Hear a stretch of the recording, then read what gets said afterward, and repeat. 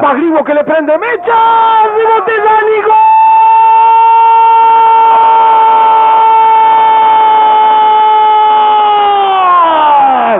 ¡Gol!